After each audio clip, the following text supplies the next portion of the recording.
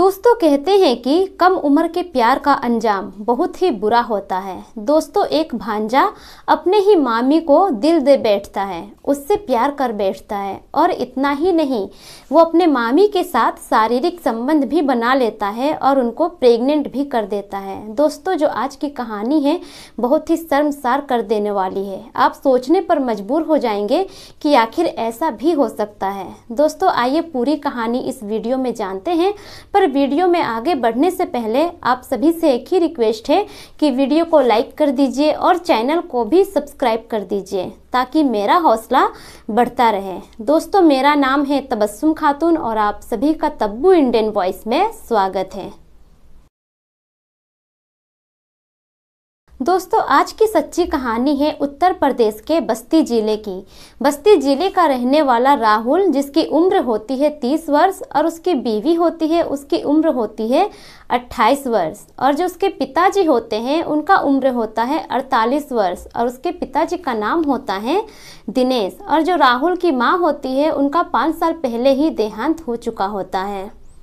दोस्तों, और एक राहुल की बड़ी बहन होती है, जिसका नाम उर्मिला होता है। उर्मिला की भी शादी हो चुकी होती है और वो भी अपने घर में काफ़ी खुश होती है। दोस्तों, एक दिन उर्मिला के ससुराल से उसका जीजा फ़ोन करता है राहुल को और उसे कहता है कि उर्मिला का देहांत हो गया है। एकदम अचानक से उसे हार्ट अटैक आया और उसी दौरान उसकी मौत हो गई। दोस्तों, जब यह खबर राहुल सुनता है तो वो काफ़ी दुखी होता है और अपने बीवी और पापा को यह खबर बताता है। उसके बाद पूरे फैमिली अपने बहन के ससुराल जाता है। वहाँ उसका अंतिम संस्कार होता है और जो भी क्रियाक्रम का जो होता है रस्म, वो पूरा करके उसके बाद जो उसका जीजा होता है, वो कहता है अपने साले राहुल से कि अब तो मेरे घर में कोई है नहीं उर्मिला अब रही नहीं और माता पिता तो है ही नहीं। मैं अकेले जो मेरा बेटा है, उसकी परवरिश कैसे करूँगा और मैं फिर से विदेश जा रहा हूँ, यहाँ तो कोई काम है नहीं मेरे लिए जो मैं करूँगा। तो दोस्तों, जो राहुल का जीजा होता है, वो कहता है राहुल से कि तुम विक्की को, मेरे बेटे को अपने घर ले जाओ और वहीं रखना। उसका जो भी खर्चा होगा, मैं हर महीने भेज दिया करूँगा और तुम उसे वहीं पढ़ाओ लिखाओ और उसकी परवरिश करो। तो दोस्तों, जो राहुल होता है, वो कहता है अपने जीजा से कि ठीक है जीजा जी, इसमें कोई दिक्कत की बात नहीं है। आप चले जाइए परदेश विक्की को मैं अपने घर ले जा रहा हूँ, उसको मैं वहीं रखूँगा। स्कूल में एडमिशन करा दूँगा, वो वहीं पढ़ेगा और हम लोगों के साथ ही रहेगा। इसमें टेंशन की कोई बात नहीं है। आप आराम से जाइए। दोस्तों, उसके बाद जो उसका जीजा होता है, वो परदेश के लिए निकल जाता है और जो राहुल होता है, वो भी अपने घर चला आता है। और जब फिर उसकी ज़िंदगी अच्छी खासी चल रही होती है, उसका भांजा जो होता है बिक्की, वो भी अच्छा खासा पढ़ लिख रहा होता है। घर में किसी चीज़ की कमी नहीं होती है और जो उसके पिता होते हैं राहुल के, वो भी घर में ही रहता था और जो खेती बाड़ी का काम होता था, वो संभाल लेता था। और दोस्तों, राहुल दो साल पहले ही विदेश से आया होता है। उसके शादी के बाद वो विदेश नहीं गया होता है।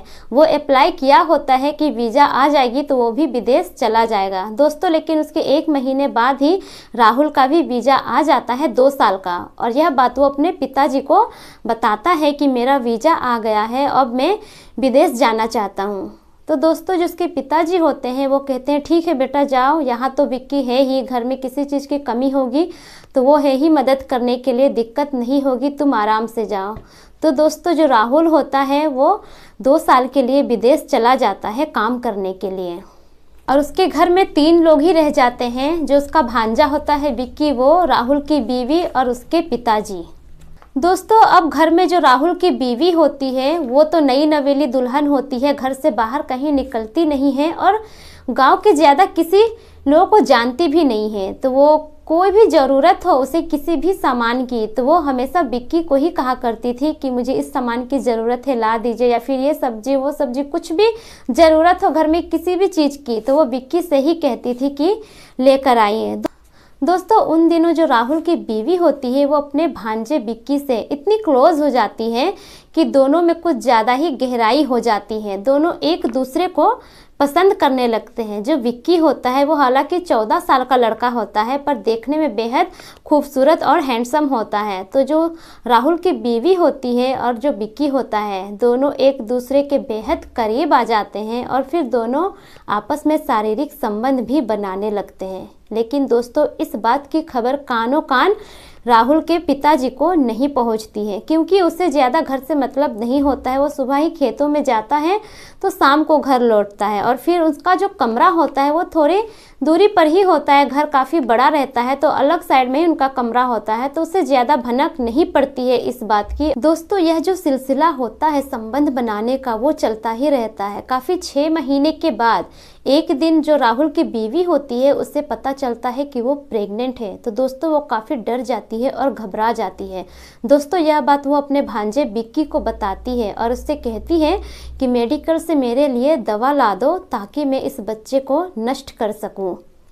दोस्तों, विक्की जाता है मेडिकल स्टोर और वहाँ से दवा ले आता है और अपनी मामी को देता है। दोस्तों, जब वो मेडिसिन खाती है, उसके कुछ घंटों बाद ही असर होने लगता है और वो बच्चा नष्ट हो जाता है। दोस्तों, उसके पंद्रह दिन बाद ही दोनों का जो काम होता है, शारीरिक संबंध फिर से बनाने लगते हैं और खूब मौज उड़ाते हैं दोनों घर में। और उसके फिर देखते ही देखते दो साल हो जाते हैं और फिर जो उसका मामा होता है बिक्की का राहुल वो घर पे कॉल करता है अपने पापा को कि, पापा, जो मेरा दो साल का था वीज़ा, वो पूरा हो चुका है, अब मैं घर आ रहा हूँ। तो उसके पापा बहुत खुश होते हैं और कहते हैं, ठीक है बेटा, आ जाओ। देखते ही देखते कब दो साल हो गए, पता ही नहीं चला। दोस्तों, फिर जो राहुल होता है, वो अपने घर आता है और पूरे घर के फैमिली काफ़ी खुश होते हैं कि दो साल बाद घर लौटे हैं।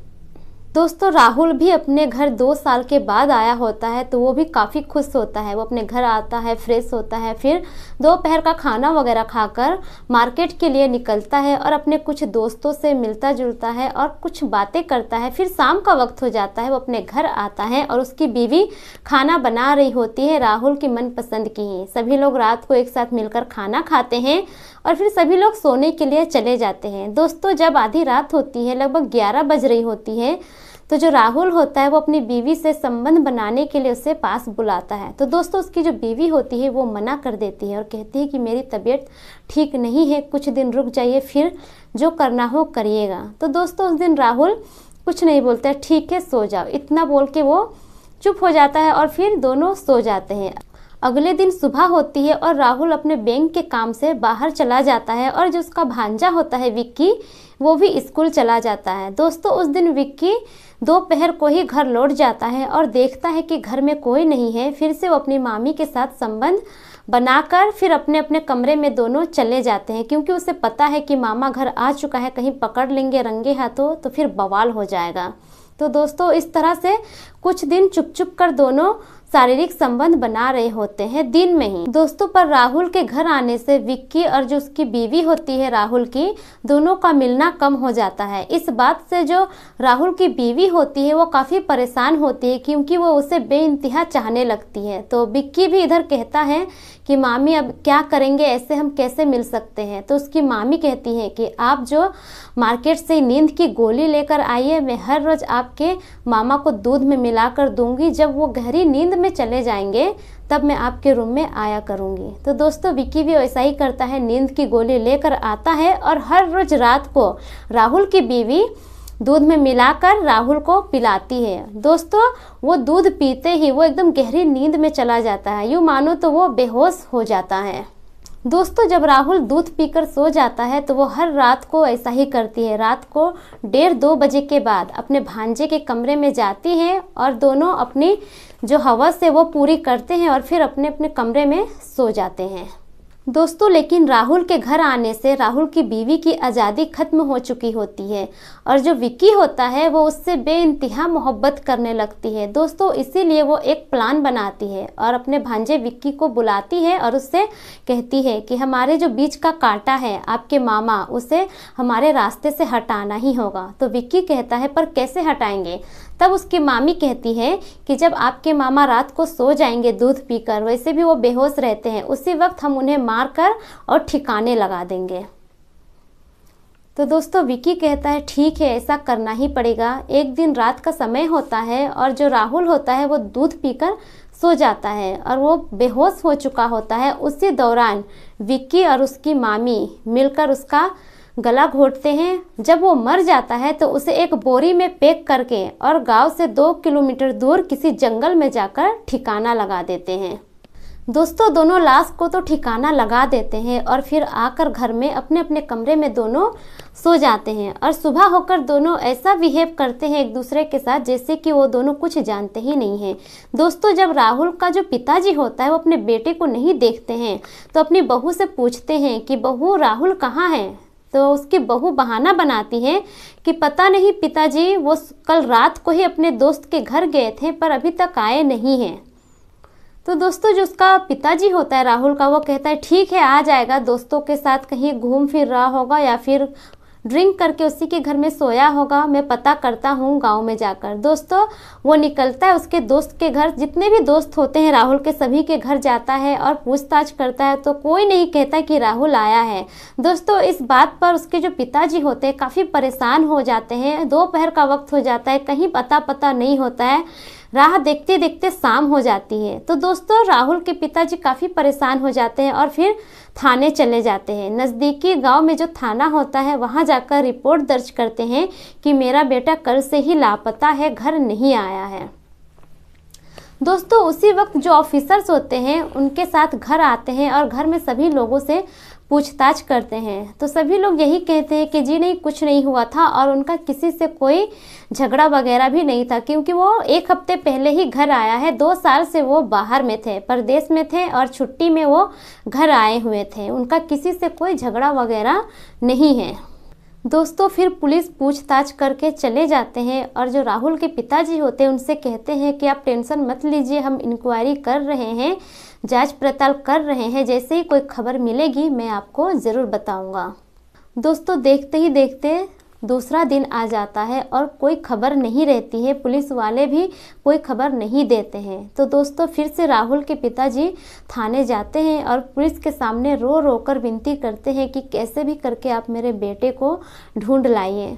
तो दोस्तों, जो उसके पिताजी रो रहे होते हैं, इस पर जो पुलिस वाले होते हैं, वो काफ़ी मायूस होते हैं और उनको भी अच्छा नहीं लगता है। फिर वो उन्हीं से पूछते हैं कि आपके घर में कौन कौन है? पूरी फैमिली जिनका रिलेशन एक दूसरे से क्या क्या है, आप सब बताइए। तो दोस्तों, उनके घर में तो ज़्यादा फैमिली होती नहीं है। बस राहुल की बीवी होती है और वो भांजा होता है। तो उसके पिताजी है, वो बताते हैं कि हमारे घर में कोई है नहीं। राहुल की बीवी है और मेरा एक नाती है।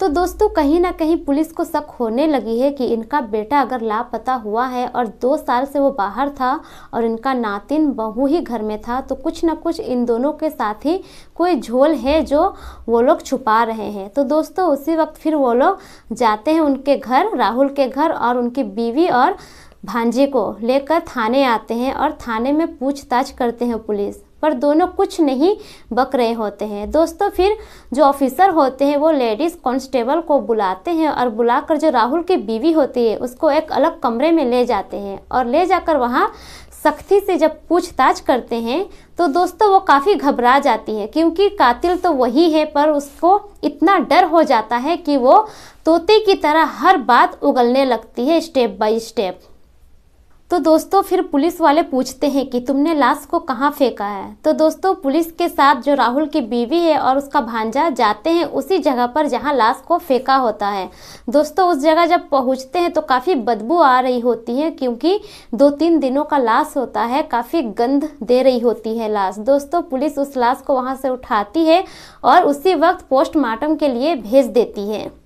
और दोस्तों, जब लाश पोस्टमार्टम करके लाया जाता है तो उसे राहुल के पिता को हैंडओवर कर दिया जाता है और फिर वो उनका अंतिम संस्कार करते हैं।